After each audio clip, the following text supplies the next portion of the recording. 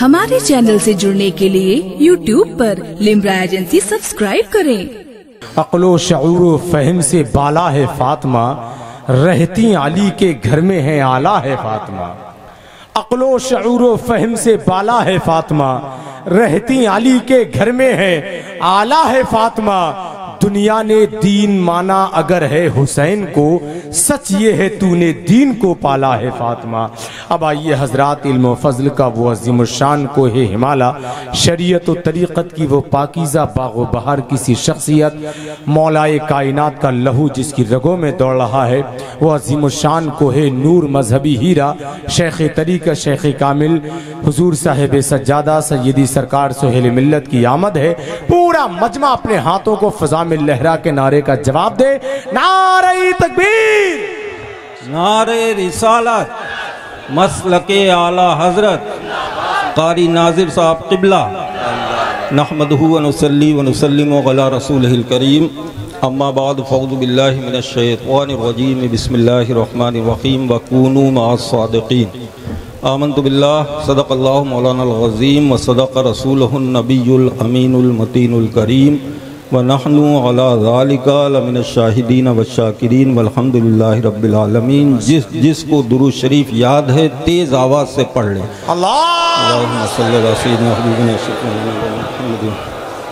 बारिक वसलम सलात वसलाम या रसोल्ला हज़रत वैसे कुल शरीफ का वक्त हो चुका है। लेकिन मैं ये महसूस कर रहा हूँ कि मेरा एक बार मैंने रियायत की, दो बार रियायत की, लेकिन ये एक दस्तूर बन गया है कि मेरा टाइम ही ले लिया जाता है। खैर, कुल का टाइम थोड़ा सा बढ़ा देंगे, लेकिन आज हम पीछे नहीं हटेंगे। आपको ये तो पता चलना चाहिए कि किसका उर्स है, किस ज़ात का उर्स है, किस अल्लाह के वली का उर्स है, जिसमें हम और आप यहाँ पर हाजिर होकर इस गर्मी को बर्दाश्त कर रहे हैं। अपनी नींद को कुर्बान किया अपने नर्म गुदाज बिस्तर को छोड़ा अपनी बस्ती को छोड़ा और इतना लंबा सफ़र करके इस बारगाह में पहुँचे हैं तो हमें ये तो मालूम होना चाहिए कि हम किसके उर्स में आए। सुभान अल्लाह सुभान अल्लाह बहुत तो लोगों ये उर्स एक फरिश्ता सिफत इंसान का उर्स है। सुभान अल्लाह बेशक बेशक। ये उर्स उस ज़ात का है कि जिस ज़ात के बारे में उनके हम असर ओलमा फ़ुकहा कहा करते थे अगर इस दौर में किसी को चाहिए कि वो ज़मीन पर चलता फिरता फरिश्ता देख ले तो वो मीर अब्दुल वाहिद बिलग्रामी के बेटे मीर तैयब को देख ले। सुभान अल्लाह सुभान अल्लाह उसी मर्द मर्द कामिल का उर्स है, जिसके बारे में उनके हम असर अलिया कहा करते थे। क्या कहते थे कि मीर तैयब को देखकर ऐसा महसूस होता है कि करबला के हज़रत इमाम जैनुल आबदीन सैकड़ों करामात के साथ दोबारा दुनिया में तशरीफ़ ले आए। ये उस मर्द कलंदर का उर्स है जिसके बारे में उनके वक्त के ओलमा उनके हरकत सकनात उनकी सीरत उनका कुर्ब हासिल करने के बाद ये कहने पे मजबूर हो गए थे कि आज ज़मीन पर अगर रिस्क उतरता है तो मीर तैयब के सदक़े में उतरता। अल्लाह अल्लाह अल्लाह अल्लाह सुभान अल्लाह सुभान अल्लाह सुभान अल्लाह ये उस वली कामिल का उर्स है। सुभान अल्लाह और बज़ाहिर वो भी हम आप जैसे थे। जी। उनके भी दो हाथ थे दो पैर थे जैसे कि हमारे हैं और आपके हैं। फ़र्क इतना है कि हमारा दिल कुछ और है उनका दिल कुछ और था। हमारा दिल दुनिया में लगा हुआ है उनका दिल मदीने की सुनहरी जालियों में लगा हुआ है। सुभान अल्लाह सुभान अल्लाह माशा अल्लाह दुनिया को ठोकर मार दी थी। दुनिया उनके पीछे पीछे चलती हुई नज़र आती थी। एक मर्तबा आपका वाकया है एक करामत है।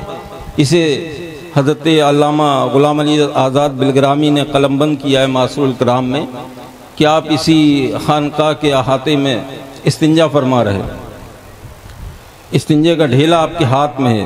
एक कीमिया कीमियागर आया और उसने कहा, बाबा, मैं कीमिया कीमियागर हूँ और अपने कीमिए से सोना बना लेता हूँ। जी। आप चूँकि इस्तिंजा कर रहे थे तो इसलिए आपने जवाब देना मुनासिब ना समझा। फिर उसने कहा हुजूर मैं कीमियागर हूँ मैं अपने कीमिए से सोना बना लेता हूँ। जी।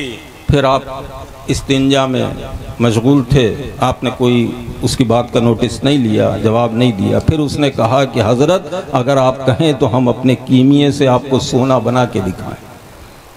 आप इस्तिंजे से फारिग हो चुके थे। आपके हाथ में वो इस्तिंजे का ढेला मिट्टी का था। उसने आपने उस इस्तिंजे को ढे के ढेले को लिया और उसकी कीमिया घर की तरफ़ फेंका और इशाद फरमाया तू कीमिए से सोना बनाएगा फकीर तो इस्तिंजे के ढेले से सोना बनाएगा देखने वालों ने देखा कि जो थोड़ी देर पहले मिट्टी का ढेला था अब वो मिट्टी का नहीं बल्कि सोने का ढीला बन चुका। माशा माशा क्या मैसेज दिया क्या पैगाम दिया कि अय लोगों तुम दुनिया के पीछे भागते हो दुनिया मेरे पीछे भागती है।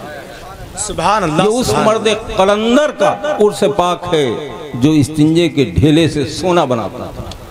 आपका दूसरा वाक्य दूसरी करामत तो आपने सुना होगा बारहा वक्त नहीं है जो लंबी चौड़ी तक, तकरीर की जाए आपके सामने कोई गुफ्तगू की जाए। अल मुख्तसर यूँ समझिए कि अल्लाह वालों को अल्लाह ने इतनी ताकत दे रखी है इतना पावरफुल बना रखा है कि अपनी जबान से जो कह देते हैं वो होता हुआ नज़र आता है। सुभान। उसकी वजह क्या है कि उसकी वजह यह है कि वो दुनिया के पीछे नहीं भागते थे। उनके दिल में दुनिया का खौफ नहीं, अगर खौफ था तो अपने रब का खौफ था। उनके सीने में दुनियादार की मोहब्बत नहीं, अगर मोहब्बत थी तो मदीने के ताजदार की मोहब्बत थी। अल्लाह का कुर्ब उन्हें हासिल था। खैर, अलगरज, मुख्तसर यूँ समझिए कि ये उसी मर्द कलंदर का उर्स है आजकल जो ज़रूरी बातें हैं कुछ, मैंने सोचा था आपके सामने अर्ज़ करूँगा। ताकि इसलाह हो। ये जो सोशल मीडिया चल रहा है मेरे भाइयों सोशल मीडिया खास कर ये जो मोबाइल हमारे छोटे मोटे मौलवियों के हाथ में उनसे बचो।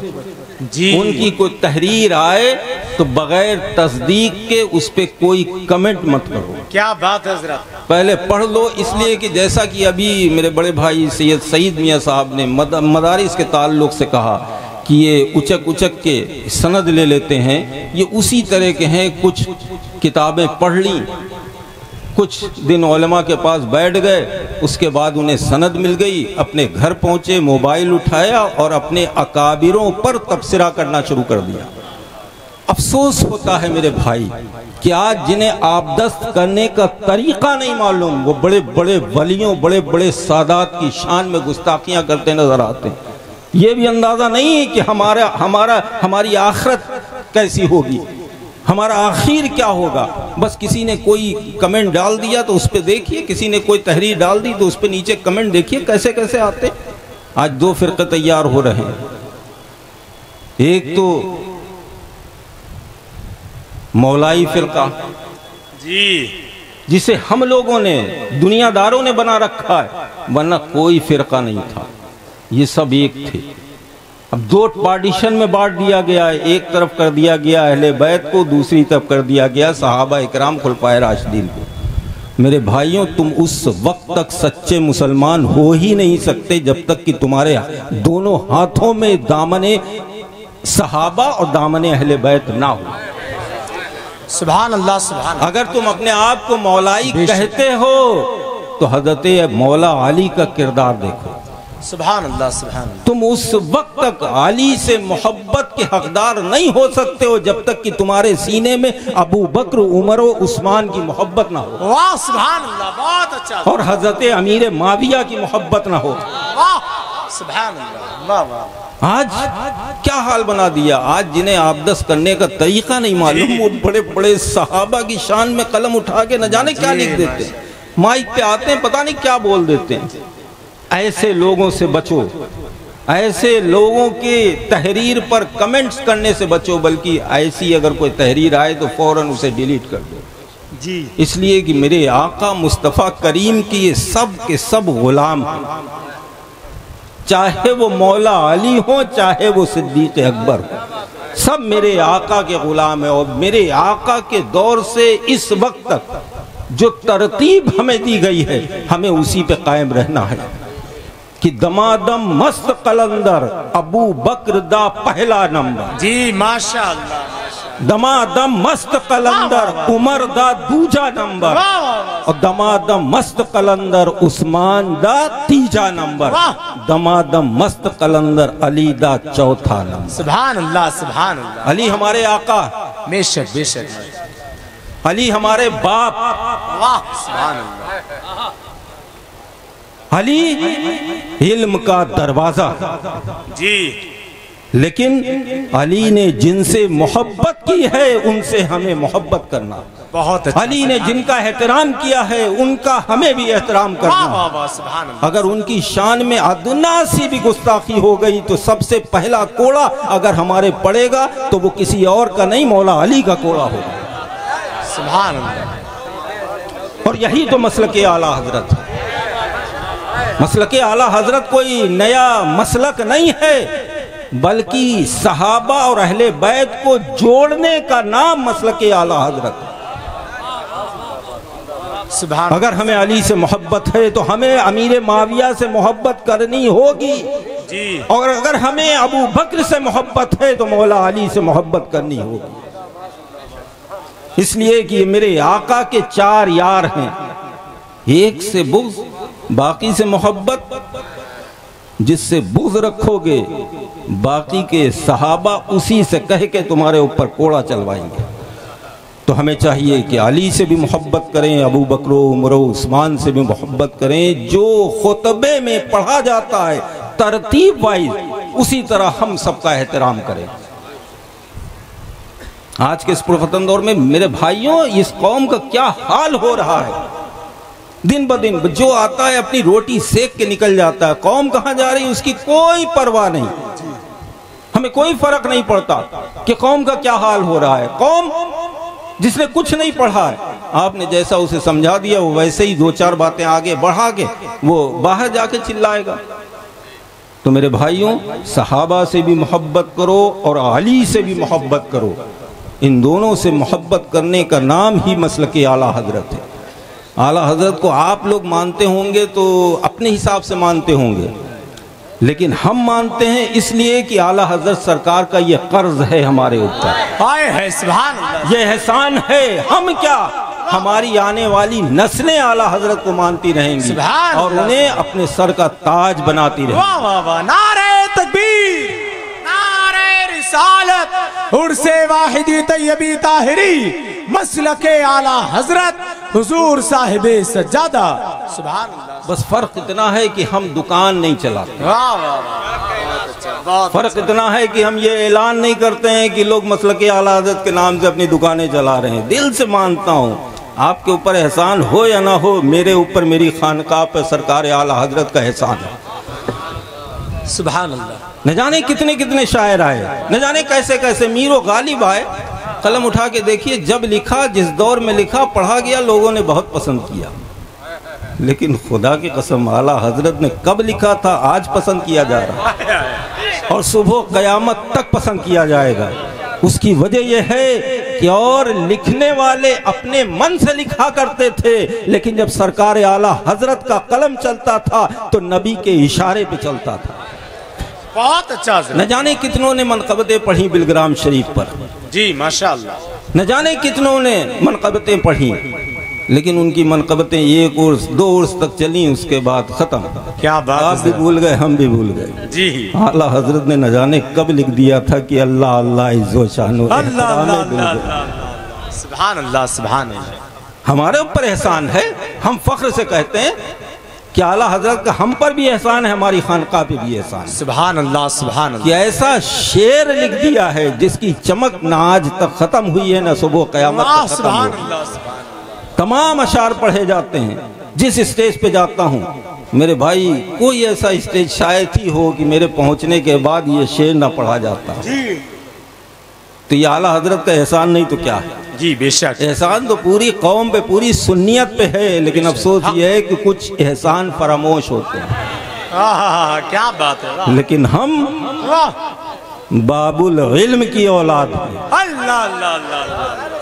असली नस्ली। वाह वाह वाह हम किसी के एहसान को फरामोश नहीं कर सकते। क्या बात है हम उसका बदला देने के लिए तैयार हैं और बदला इस अंदाज में देंगे कि मेरे मुरीदों जब तक ज़िंदा रहना मसल के आला हज़रत पर कायम रहे। नारे तकबीर। पूरा मत में हाथों को उठाकर जवाब दे। नारे रिसालत। और से वाहिदी तैयबी ताहिरी। मसल के आला हज़रत। इश्क मोहब्बत इश्क मोहब्बत। हुजूर साहिब सज्जादा सैयदी सरकार सोहेल मिल और भी बहुतों ने कलाम लिखे हैं न जाने कितने कलाम पढ़े जाते हैं। लेकिन यही खास कलाम इसमें ऐसी क्या खासियत है? कि ये जब कलाम पढ़ा जाता है ये शेर पढ़ा जाता है तो लोग उछल पड़ते हैं। जी माशा रोज उर्स आवार गाने दश्ते गुर्बत के लिए मन्नो सलवा है मगर खुब्जो इदामे बिल गिरा अल्लाह अल्लाह सुभान अल्लाह है लोगों जब तक ज़िंदा रहना आला हज़रत की मोहब्बत को अपने दिलों में बसाए रहना और सिर्फ़ अपनी दुकानें चलाने के लिए नहीं बल्कि कौम की खिदमत के लिए। कौम की खिदमत के लिए। वो लोग कहते हैं इस बात को कि लोग अपनी दुकानें चमकाने के लिए मसल के आला हज़रत को इस्तेमाल करते हैं बरेली शरीफ के स्टेज को इस्तेमाल करते हैं। अफसोस तो इस बात का है जो करते हैं वही ऐलान करते हैं। जी आए आए आए। क्या बात हज़रत अगर अल्लाह ने तुम्हें माथे की निगाह दी है तो आओ दारुल वाहिदिया में आओ। खानकाह वाहिदिया के साहिब सज्जादा की खानका में। देखो आला हज़रत का गुंबद भी लगा है उस पर लिखा हुआ है कि डाल दी कल अजमत मुस्तफ़ा सैयदी आला हज़रत पे लाखों। लाखों सलाम सुभान अल्लाह सुभान ये है आला हज़रत की मोहब्बत। सिर्फ़ स्टेज पे आके चिल्ला के चले गए। आला हज़रत के गुलामों में अपनी जगह बना के चले गए उससे कोई फ़ायदा होने वाला नहीं। अगर आला हज़रत से सच्ची मोहब्बत है तो आला हज़रत के पैगाम को आम करो। सिर्फ़ नारे को आम ना करो बल्कि उनके पैगाम को आम करो। उनका पैगाम ये है कि बद मज़हब सुलह कुल्ली राबजी वहाबी दयाबना इनसे बचो। अब खुद भी बचो अपने रिश्तेदारों को भी बचाओ। ये मसल के आला हज़रत है। ये पैगाम है सरकार आला हज़रत का। सिर्फ़ आला हज़रत ने यह नहीं किया कि जाओ मेरे नाम का नारा लगाओ, बल्कि आला हज़रत ने कहा कि लोगों, अपनी मस्जिदों को आबाद करो। अपने बुज़ुर्गों का एहतराम करो, उनके आरास की महफिल में जाओ। और जो तुम्हारे नबी की शान में गुस्ताखियाँ कर चुके हैं, उनके जो फॉलोअर हैं, उनसे बचो। तो हमें अगर आला हज़रत से सच्ची मोहब्बत करना है तो हमें सुले कुल्लियत से बचना होगा। बहुत अच्छा बहुत अच्छा। लोगों बस इस उर्स में आने का मकसद यही है कि अहले बैत से मोहब्बत करो सहाबा से मोहब्बत करो। माशा इसलिए कि जन्नत में वही जाएगा जो अली से मोहब्बत करेगा। ये मैंने एक जुमला बोल दिया था तो न जाने क्या क्या कमेंट कमेंट आए। उनके दिल में बुग्ज अली है बुग्ज अहले बैत है। अब वो शायद तमाम किताबें पढ़ी होंगी लेकिन नबी की ये हदीस उनकी आँखों के सामने से नहीं गुजरी होगी कि मम माता बुग्ज अला मोहम्मद, मम माता काफिरा। मेरे आका खुद इरशाद फरमाते हैं, सुनो क्या अली, दो गिरोह होंगे। एक तुमसे मोहब्बत करेगा, उसके लिए जन्नत है, और एक तुमसे बुग्ज रखेगा, उसके लिए जहन्नम है। लेकिन अली से मोहब्बत करो साथ ही साथ अली के यारों से मोहब्बत करो। सुभान अल्लाह उनसे मोहब्बत करो जिनसे अली ने मोहब्बत की है। तुम जन्नत के हकदार हो। तुम्हें जन्नत में जाने से कोई नहीं रोक सकता। इसलिए कि जन्नत के पहरेदार यही होंगे। यही चार यार होंगे जिन्हें मेरे आका मुस्तफ़ा करीम इख्तियार दे चुके होंगे क्या मेरे सहाबा अब तुम्हें तुम पर छोड़ रहा हूँ। जो मेरे उम्मती हैं। इन्हें जिसे चाहो जन्नत में दाखला दो, जिसे चाहो जन्नत में जाने से रोक दो। तो वहाँ सिर्फ़ मौला अली ना होंगे, अबू बकर सिद्दीक भी होंगे, उमर फ़ारूक भी होंगे, उस्मान गनी भी होंगे, और चारों मिलकर जिसकी सिफारिश कर देंगे सुबहान अल्लाह, वो जन्नती है। तो अहले बैत से मोहब्बत करो। मौला अली से मोहब्बत करो अबू बकर से मोहब्बत करो उमर फ़ारूक से मोहब्बत करो उस्मान गनी से मोहब्बत करो और सहाबा की लिस्ट में हज़रत अमीर माविया से मोहब्बत करो। यही इस खानकाह का पैगाम है। दूर दराज से आए हुए लोगों से मेरी ये गुजारिश है चाहे वो मेरे मुरीद हों बड़े हज़रत के मुरीद हों किसी के भी मुरीद हों। हैं तो सुन्नी हैं तो बुज़ुर्गों के मानने वाले। अगर बुज़ुर्गों के मानने वाले ना होते तो इस महफिल में क्यों आते? तो बस इस बात को अपने दिल में बसाओ कि अगर कोई सहाबा की शान में गुस्ताखी करके कहता है कि मैं मौलाई हूँ तो उसे नकार देना। जी। कोई मौला अली की मोहब्बत में सहाबा की गुस्ताखी करता है तो उसे भी ठोकर पे मार देना। कह देना हम तो दोनों को मानने वाले हैं। बेशक अली से मोहब्बत करो सहाबा से मोहब्बत करो। यही इस से वाहिदी तैयबी, ताहिरी का पैगाम है और अपने घरों को जाओ तो अपने माशरे में सुधार पैदा करो। तालीमी, तालीम के ताल्लुक से जैसा कि सैद सईद मियाँ साहब ने कहा, अपने बच्चों को इस वक्त ज़रूरत है, इस वक्त, पुरफतन दौर में। हालाँकि ज़रूरत तो शुरू से रही। मेरे आका मुस्तफ़ा करीम ने दुनिया में तशरीफ़, बज़ाहिर तशरीफ़ लेने के, लाने के बाद इर्शाद फरमाया था, अपनी उम्मत को ये पैगाम दिया था कि ए लोगों, तुम्हारे लिए तुम्हारी माँ की गोद पहला मदरसा है। वहाँ से शुरुआत कर दो। जैसे ही दुनिया में जन्म लो, पढ़ाई शुरू कर दो। अपनी माँ की गोद से पढ़ते रहो। कब्र की आगोश में जाने तक पढ़ते रहो पढ़ते रहो पढ़ते रहो। लेकिन अब इस वक्त ज़्यादा ज़रूरत है। अपने बच्चों को अच्छी तालीम दिलाओ। उन्हें दीनी तालीम भी दिलाओ, ताकि उन्हें ज़िंदगी जीने का सलीका मिल जाए। दुनियावी तालीम में उन्हें अच्छे से अच्छी तालीम दिलाओ। थोड़ा खा लो एक वक्त खा लो। मारे शरीफ का ये पैगाम दोहरा लो कि आधी रोटी खाएँगे बच्चों को पढ़ाएँगे। अपने बच्चों को पढ़ाओ अपने घर की बेटियों को सैदा जैनब की कहानियाँ सुनाओ। खातून जन्नत की सीरत बताओ। उन्हें मजा- मज़ारात पे और बाजारों में बेपर्दा जाने से रोको इसलिए कि तुम्हारी जीनत है तुम्हारी इज़्ज़त है। अभी तुम्हें होश नहीं आता अभी तो तुम बड़े खुश हो कि मेरी बेटी मॉडर्न है। मेरी बेटी पढ़ी लिखी है इंग्लिश बोल लेती है, लेकिन जब वो कदम गलत उठा लेती है तो तुम रोते हुए नज़र आते हो। तो वो दिन आने से पहले सुधर जाओ, अपनी बच्चियों को दीनी तालीम दिलाओ, और उसके बाद दुनियावी तालीम दिलाओ, ताकि उसे सैदा जैनब की सीरत पता चल जाए कि हमें ज़िंदगी कैसे गुजारनी। अपने बच्चों को अच्छी तालीम दिलाओ। शादी ब्याह में जो फजूल खर्ची करते हो, उसे रोको। उस पैसे से गरीबों की मदद करो, बेवाओं की मदद करो। तुम आए हो इस दुनिया में किस मकसद के लिए? सिर्फ़ सैर व तफरी के लिए नहीं आए हो, सिर्फ़ दुनिया की लज्जत लूटने के लिए नहीं आए हो, बल्कि तो दुनिया तो तुम्हारे लिए एक इम्तिहान गाह है। यहाँ तुम्हें इम्तिहान देना है, असल आराम गाह तुम्हारी कब्र है। उसके बाद मैदान मैशर, मैदान जन्नत तुम्हारा असल मकाम है। वहाँ तुम्हें जाना है। तो इसके लिए, जन्नत के लिए कुछ कर जाओ। गरीबों की मदद करो, ताकि तुम्हारी बख्शिश का ज़रिया बन जाए। बेवाओं की मदद करो, यतीमों की मदद करो। अगर तुम्हारी बस्ती में कोई ऐसा है बच्चा जिसके पास इतना असासा नहीं कि अच्छी तालीम दिला सके, शौक़ है पढ़ने का तो मेरे भाइयों, ये दो दो चार चार लाख रुपए तुम मिनटों में, जलसों में उड़ा देते हो, इस पैसे को बचाओ, उस बच्चे की पढ़ाई पे लगा दो। उस बच्चे के बाप भी खुश हो जाएँगे, बस्ती वाले भी खुश हो जाएँगे, और मदीने वाले मुस्तफ़ा भी खुश हो जाएँगे। तो फजूल खर्ची से बचो, अपने पैसे का सही इस्तेमाल करो, मदारस पे ध्यान दो ये मदारस में अपने बच्चों को पढ़ाओ तो साथ ही साथ दीनी तालीम के साथ दुनियावी तालीम भी दिलाओ। हमारे आइमा मसाजिद के बारे में बहुत अच्छी अच्छी बातें सैयद सैद मियाँ साहब ने कही अल्लाह तबारक व ताली इस कौम को अपने ओलमा अपने इमामों से मोहब्बत की तोफ़ी अता फरमा आमीन। अल्लाह रब्बुल इज़्ज़त की बारगाह में अरीज़ा है कि अल्लाह तबारक व ताली हमें और आपको सैदना मीर तैयब का सच्चा ग़ुलाम बनाए। आमीन।